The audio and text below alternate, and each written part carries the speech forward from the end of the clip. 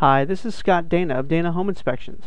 I wanted to share with you several photos that highlight issues we can find during a home inspection using our infrared camera.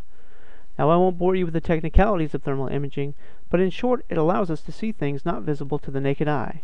Plus we use our camera on all inspections at no additional charge. Our first picture here is of a leaky jetted tub. You can see on the left side where the moisture stain is showing as dark circles, and on the right nothing is visible. Our next picture is of a leaking shower pan. Again, you can see the moisture as the dark color on the photo on the left, but on the right, there's nothing showing. Here's the same house from the outside.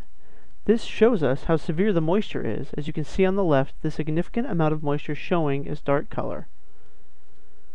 This next photo is of a newly constructed home, and you can see on the left how moisture is getting into the wall cavity from the outside because the windows were not properly sealed. This next series of photos shows some interesting HVAC issues. Here we can see that they actually forgot to cut out a hole for the register. After running the heat for a while, a very noticeable red spot showed on the infrared camera. And here is the same issue that we found in another home.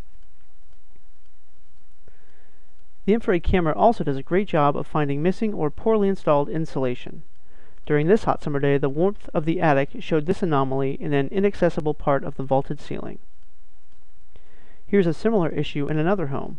This photo also shows how the infrared camera has different color palettes to choose from, as in some cases anomalies are better seen in gray or iron, as this one is called.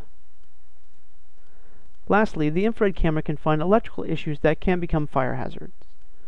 Here's a photo of a poorly installed or faulty arc fault breaker. Notice how hot the breaker shows in the left photo. This next photo shows significant resistance of two wires, possibly due to a loose connection or overload. And that's it. I hope you found this helpful and understand the benefits of using Dana Home Inspections for your next inspection. I'd love to hear from you, so give me a call today, 404 849 8293. Thank you.